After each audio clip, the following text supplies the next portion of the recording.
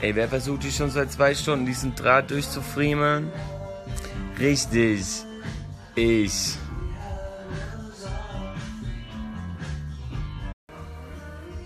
Ready. Ganz viel Müll. Aber jetzt können wir losmalen.